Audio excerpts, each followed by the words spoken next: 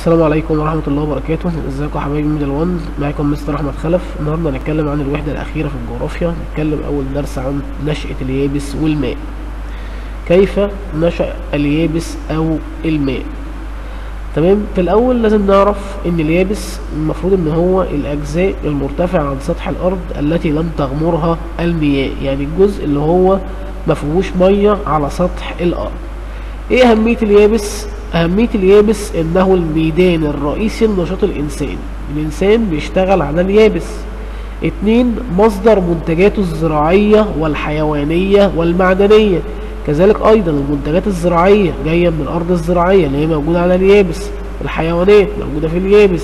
المعادن اللي هي موجودة برضه في بطن الأرض اللي هو موجود في اليابس. تمام؟ يبقى أهمية اليابس ميدان رئيسي لنشاط الإنسان ومصدر منتجاته الزراعية والحيوانية والمعدنية. طيب إيه أهمية المية؟ المية مهمة جدا في حياة الإنسان فهي سر الحياة فبدون الماء لا يعيش أي كائن حي سواء كان إنسان أو حيوان أو نبات. اتنين مصدر ثروات كالأسماك والإسفنج والأملاح واللؤلؤ والأصداف كل هذه الثروات موجودة في المياه. يعني ما تفسر أهمية المياه أقول له مصدر الحياة؟ مصدر ثروات كالأسماك والإسفنج والأملاح واللؤلؤ والأصداف. لكن كيف نشأ اليابس والماء؟ في نظريات كتير بتتكلم عن نظرية نشأة اليابس والماء. من ضمن هذه النظريات أو أقرب هذه النظريات نظرية العالم الألماني فيجنر. وهذه النظرية تسمى زحزحة القارات. فيجنر عالم ألماني كان عنده نظرية كان عنده نظرية اسمها نظرية زحزحة القارات بيفترض إن قارات العالم كانت عبارة عن كتلة واحدة متماسكة. إن العالم ده كان عبارة عن كتلة واحدة. الكتلة دي تعرضت للتصدع والانكسار يعني انكسرت إلى جزئين. انقسمت الكتلة إلى عدة أجزاء حتى وصلت لشكلها الحالي وكونت القارات دي النظرية بتاعت العالم الألماني اللي هو فيجنر. العالم كان كتلة واحدة الكتلة اتكسرت الكتلة اتكسرت إلى عدة أجزاء حتى وصلت لشكلها الحالي والقارات طيب مرت عملية نشأة اليابس والماء بعدة مراحل.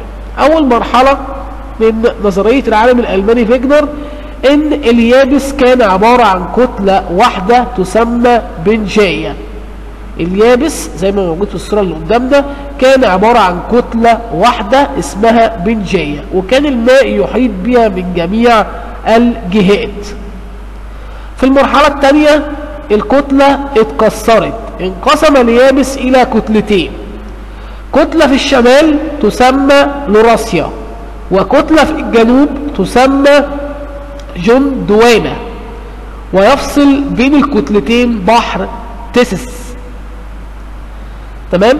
يبقى انقسم اليابس إلى كتلتين. كتلة في الشمال تسمى لوراسيا وكتلة في الجنوب تسمى جندوانا وبيفصل بينهم بحر تيثس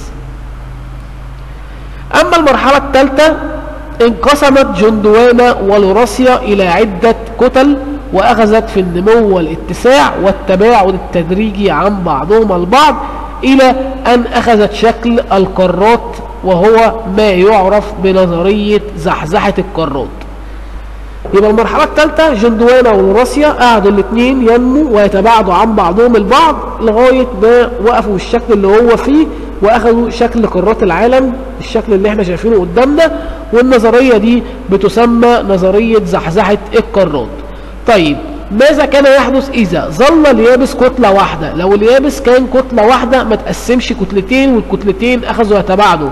قال لي لم تتكون القارات بشكلها الحالي. طيب اليابس زي ما أنا قلت في الأول هو الأجزاء المرتفعة عن سطح الكرة الأرضية والتي لم تغمرها المياه. مساحة اليابس من سطح الأرض حوالي 29.3 من من مساحة الكرة الأرضية. أما الماء فهو الأجزاء المنخفضة من سطح الكرة الأرضية ويغطى نحو 70 وسبعة من عشرة من مساحة الكرة الأرضية. يعني أنا عندي مساحة الكرة الأرضية كلها أغلبيتها مية. 70 وسبعة من عشرة في المية أما اليابس هو الجزء الأقل حوالي 29 وتلاتة من عشرة في المية وزي ما قلت لكم إن كوكب الأرض كانوا بيسموه الكوكب المائي.